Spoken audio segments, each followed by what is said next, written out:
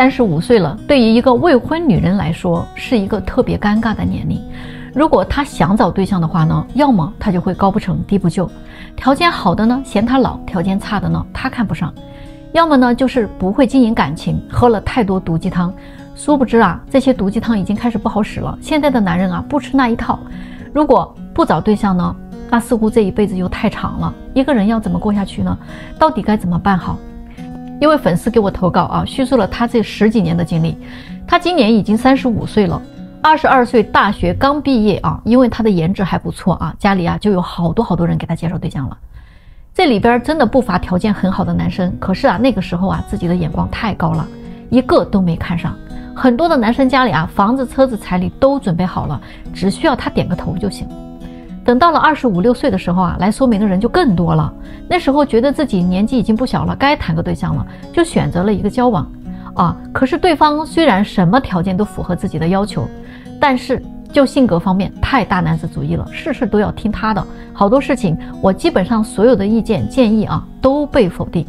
这个人可能是因为自己比较优秀的缘故，所以呢，他特别的自我，有点唯我独尊的感觉，而且在生活上他也是个巨婴型的人格，感觉并不成熟，很多事情啊，他都要听家长的意见。最后我们还是不欢而散了。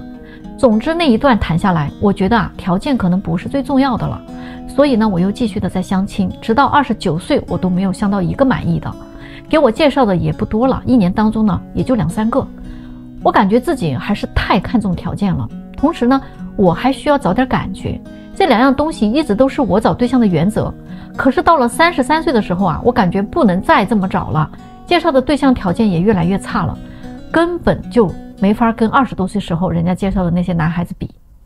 但是年龄大了，这是个硬伤啊，所以我就再一次降低了一些要求，比如可以一起买房还贷啊，对眼缘我也没有那么高的要求了，只要长得顺眼啊就可以。学历呢，我也没有那么需要他必须比我高了，读了本科就可以。收入方面呢，比我好点呢就行。后来我真的接触了一位，可是这样的条件的男生啊，我自己的内心实在是接受不了。他没有任何的亮点可以吸引我去喜欢他，而且情商呢也不高。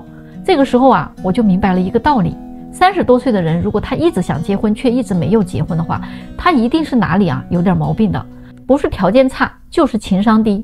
包括我自己应该也是，所以没有想在一起的兴趣。这个时候啊，我心里的目标又发生了变化。我觉得我不能没有一点点要求，还是得找个好点儿的，不然自己啊喜欢不起来。就算结了婚，可能也是勉强，不会幸福的。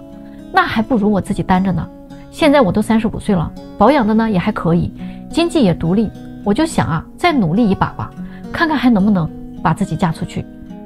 我就想通过我自己的事情呢，去提醒一下当下那些年轻的姑娘们，千万不要太好高骛远了。眼前如果有一个合适的，就尽快谈一个。